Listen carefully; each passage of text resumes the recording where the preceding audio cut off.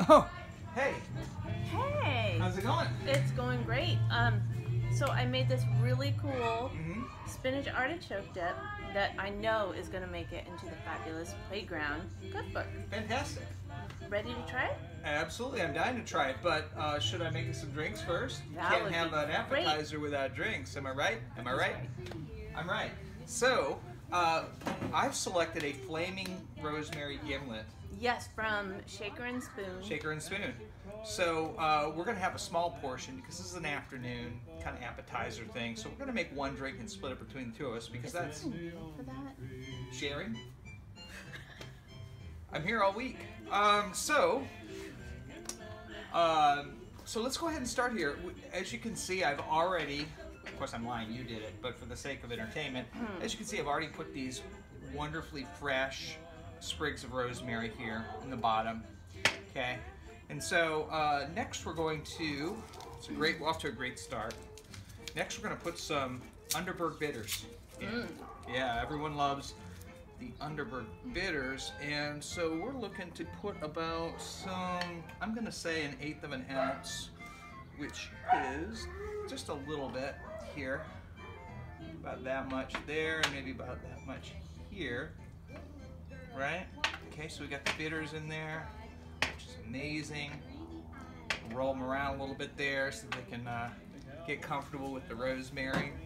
Just a little bit. We don't want them to get too comfortable, right? Because we want them to be perfect for our drink. So the next thing that we're going to do is we've got the actual setup for the rosemary and the bitters. Now we're going to do the gin. It's And very uh, garlicky. I can't wait to try it. I put about um about ten cloves of minced garlic in this one. So while he's minc- mincing, let me tell you how I mixed this fabulous appetizer. Please do. I'm getting into that habit where you clap your hands. Right. It's like so annoying after a while. Is my habit or yours? All right. Anyway, uh, your turn. All right, so uh, I've got the gin in here, and I'm going to put a little bit of lime juice. Oh, you already put As well. I already put the bitters in. We should probably replace the cap. It'll help it stay fresh. Power users have always replace the cap as soon as you're done with anything so that it'll stay fresh. Thank you for that urgent reminder. Um, so the last thing we need here is we've got the simple syrup right here, and we're going to need a little bit of that in here. So probably about, so I'm going to say right about there. One of these days, I think maybe for Christmas, I'll get you a little measuring thing. Yeah, that'd be nice. So, I appreciate it. Something other than a measuring cup makes it look like I'm on a cooking show. All right, so I'm gonna go ahead and pour this in here. okay, This is only half a cooking show. right. If I'm gonna be a Except real, I'm not cooking, we're just eating. yeah, okay, that's true. But see, but I did want. the cooking. Well, yeah, because when the book comes out, Mhm. they're gonna see if we liked it or not. Yeah, Brilliant, right? awesome. I love it. Okay, so now at this point, um, we're gonna shake. We're gonna shake this concoction here, and you're gonna want to do it about 15 to 30 seconds, just enough so that mixture kisses the ice and kind of blends together. What language is that? That's definitely not sign language. Oh, I got it. Funny. I like things icy cold, so I'm gonna go for the full 30 on this one. Hand's getting very cold. Turning blue. Gangrene might be settling in. Okay. So And that is the recipe. And if you, you know, All right. Let's um enough of the fun. This is a serious show. All right, so we've got this all shaken up and now it it says to open the shaker and set it down. Oops, I set it down first. Oh well. They're just going to have to we're going to have to improvise now. I've completely gone off uh no, it's still gonna off be track amazing. here. All right, so now Do you want it? I have to light something on fire. Oh, you need a lighter. Can you get me a lighter? I don't know where one is. Hold on one second, folks. Please, please enjoy the music while you wait. I might be entertaining too, you know. And maybe not. Anyway, so we just, you can serve anything with spinach artichoke dip. Like, what is your favorite thing? Tortilla chips? Us too. So that's what we did. Um, so this is super garlicky, and it's baked. It's good. All right. Oh look, you found it. Genuine Bic lighter. Always use the best when working with fire, because fire can be dangerous. So, uh, we are actually going to light this now. Here we go. So we're gonna light it. Should you? You know, I, I would, It's not lighting. maybe if you turn it, do like this. There was this really cool restaurant in Long Beach called Cellar V, Mm-hmm. but some people call it vie. C'est la vie. I get it. Cellar V. That's very clever. And we got this when they were um, moving. All right. And so I know that these can handle fire because she used to, um, Deborah used to um, make, what was it again? With the beans? It's not lighting? It's not lighting. Oh, I know why. Why? You're gonna kill me. What's that? Because I washed it first. The leaves are probably wet. Well, they're wet with the bitters. That shouldn't make a difference. Okay, can I try? Yeah, sure. I think he's just afraid. This better not be those like those trick glasses, like those trick candles. No, it showed lighter. When we edit the video, we'll just speed this part up.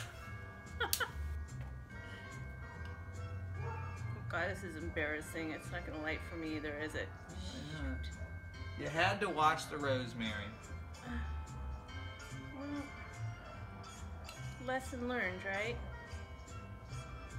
Man, I was expecting this to just. Maybe it's. I smell fire. Well, that's because I was holding it. I just didn't think bitters were flammable. Did you?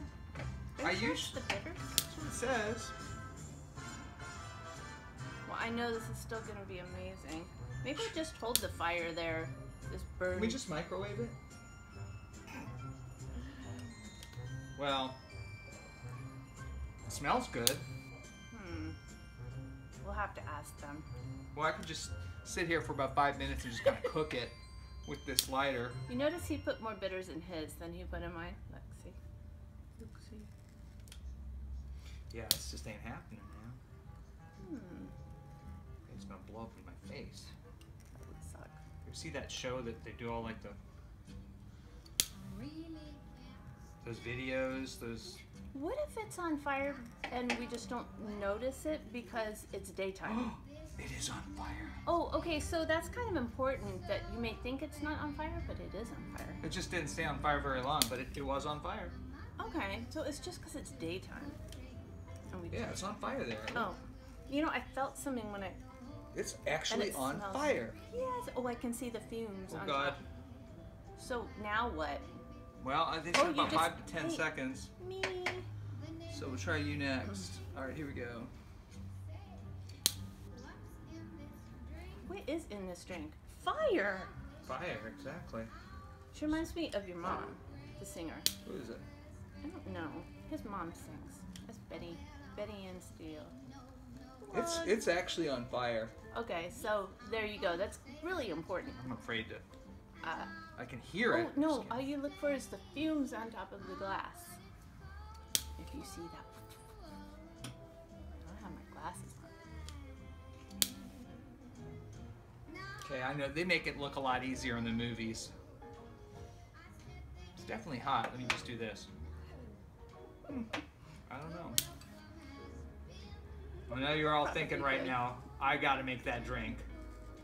I can tell. Yeah, it's cooking. hear it. A little sizzling sound. Okay, I think that's probably about as good as it's gonna get. Cool. Come by. Just All kidding. right. Um, All right. Hey. Well, uh, now. you want to try one of these real quick? Sure. Do you have to shake that again? Nah, probably. You made this. Is homemade. Isn't that supposed to cool off or something first anyway? Or was that my other recipe? This is great. Well, that's not very enthusiastic. Better than store bought. Just kidding. No, this is really good. It's rich and garlicky I'm cold. and fresh. Mm. I might not Mhm. even get to the drink. Mm. Okay. Yeah, it's very garlicky. I think this is perfect for holidays with a drink like this.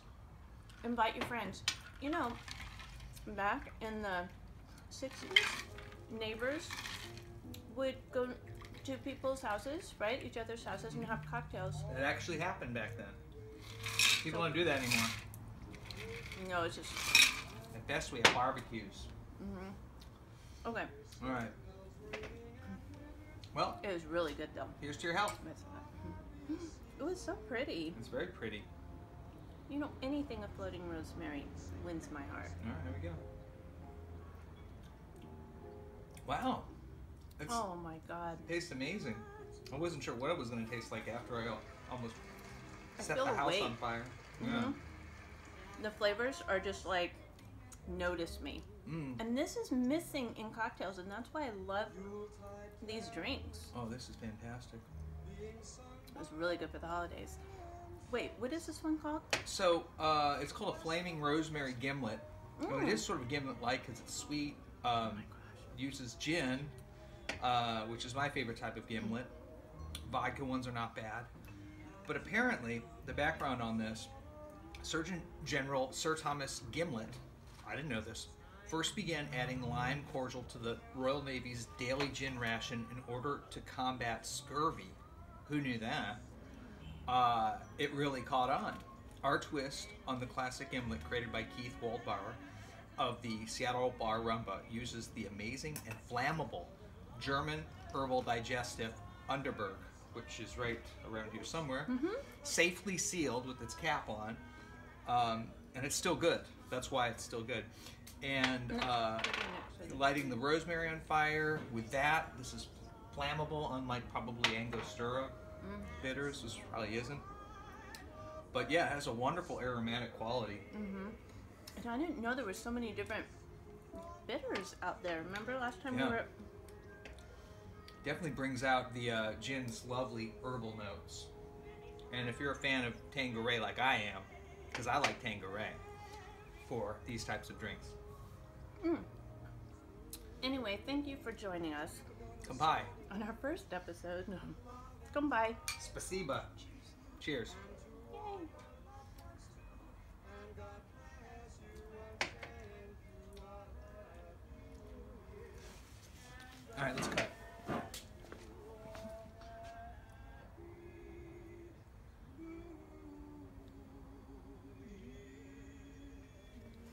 Happy New Year.